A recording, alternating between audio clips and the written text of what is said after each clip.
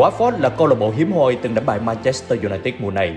Cuộc tái ngộ trên sân Old Trafford ngoài mang phục hận cho thất bại lượt đi, còn là mục tiêu để quỷ đỏ giữ vững vị trí trong top 4 ngoại hạng Anh.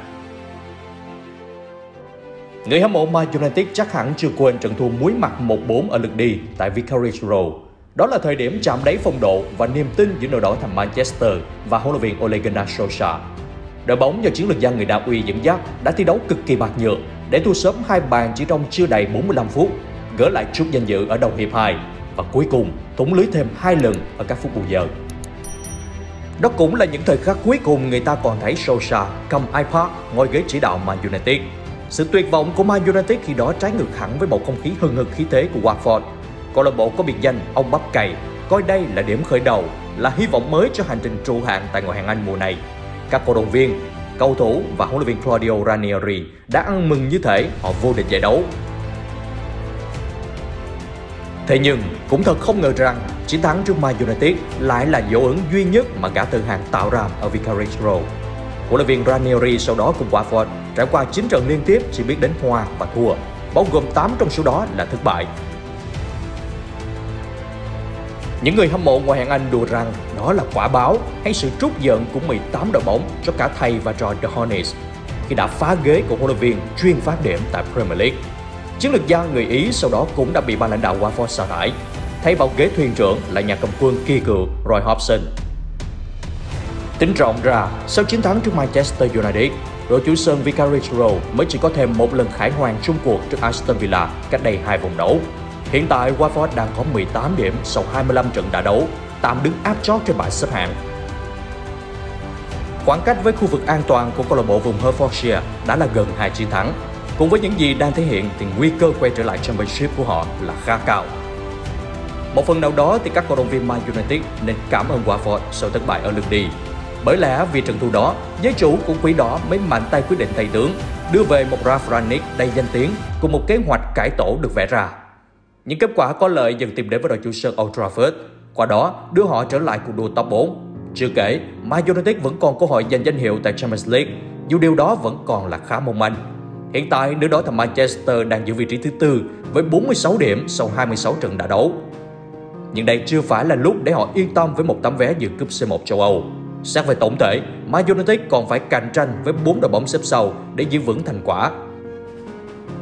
Thậm chí, đội bóng này sẽ bị thiếm ngồi nếu như Arsenal với 45 điểm thắng một trong hai trận đấu đá bù.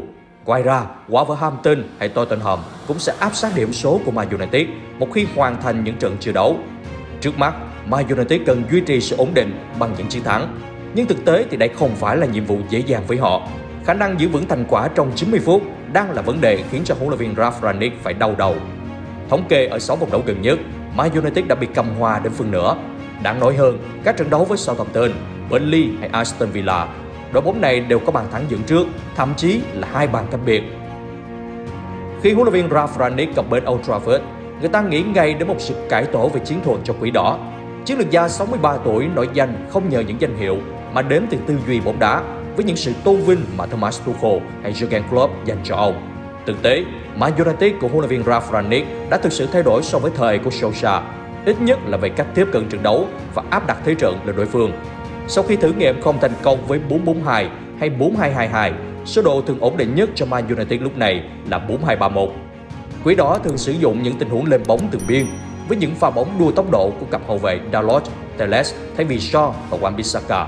Đồng thời, đặc sản pressing 1 phần 3 cuối sân khi mất bóng cũng được huấn luyện viên Ranić áp dụng. Hàng thủ phần nào cũng dâng cao hơn nhằm giữ vững cự ly với khu vực trung lộ của bộ đôi tiền vệ giữa. Trên lý thuyết, đây có vẻ như là cách vận hành hợp lý và tương đối trơn tru.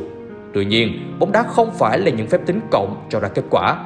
Man United sở hữu dàn sao mà nhiều đội bóng mơ ước, nhưng có vẻ như họ chưa thi đấu hết 100% khả năng và sự tập trung.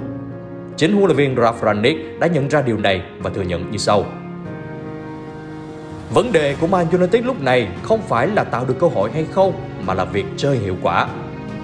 Man United thường khởi đầu trận đấu rất hưng phấn với đội hình dâng cao và các pha triển khai bóng nhanh.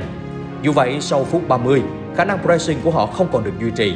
Điều này kéo dài trong khoảng 15 phút nữa ở hiệp thi đấu thứ hai, trước khi gắn gượng vùng lên ở giai đoạn 1 phần 3 thời gian cuối trận. Ví dụ tiêu biểu là ở chiến thắng 4-2 trước Leeds United ở vòng đấu trước. Kịch bản cứ như được lập trình, đó là Man United dẫn trước 2-0 ở hiệp 1, sau đó thi đấu chung xuống và để bị gỡ hòa 2-2 sau khi hiệp 2 trôi qua hơn 10 phút. Nhưng kịp xả lưới đối phương thêm hai lần từ phút thứ 70. Xin nhắc lại, chất lượng nhân sự của Man United không hề tồi. Nhưng chưa thể nói rằng các ngôi sao như Ronaldo, Bruno Fernandes, Jadon Sancho đã chơi đúng với đẳng cấp của họ. Trong khi đó, hàng thủ với những Harry Maguire cùng với các đối tác như Lindelof, Bailey thường xuyên mắc những sai lầm ngớ ngẩn. Điểm sáng hiếm hoi gần đây lại đến từ tài năng trẻ Elanga. Cầu thủ người Thụy Điển đã đóng góp những bàn thắng quan trọng sau khi vào sân từ bàn ghế dự bị. Sự quyết tâm ở từng đường chạm bóng và di chuyển của tiền đạo này đã khiến các đàn anh phải nhìn mà học hỏi. Ngoài ra, sự bất ổn của phòng thay đồ Man United cũng là chủ đề được bàn tán. Có thể kể đến việc Ronaldo và Maguire tranh chấp bằng thủ quân, hay một số cầu thủ chơi các bài tập của ông thầy người Đức là lỗi thời, quá tập trung vào xây dựng cấu trúc đội, không chú trọng kỹ năng cá nhân. Cùng với đó, việc huấn luyện viên Ralf Rangnick chưa chắc chắn gắn bó lâu dài với Old Trafford cũng có thể ảnh hưởng đến cái uy của ông. Dù vậy, nhà cầm quân này vẫn lên tiếng phủ nhận mọi tin đồn và bày tỏ sự tin tưởng nơi các học trò.